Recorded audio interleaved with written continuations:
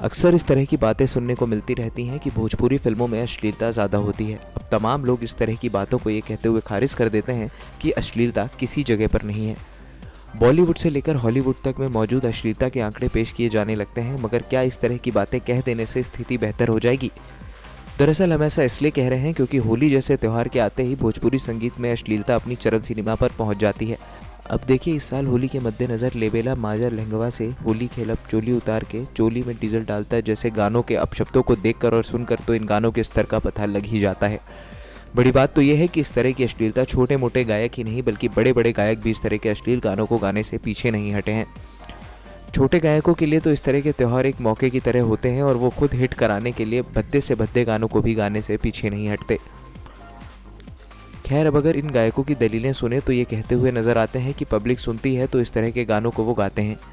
यानी कहीं ना कहीं समाज में भी इस तरह के गानों को पसंद करने वालों की कोई कमी नहीं है।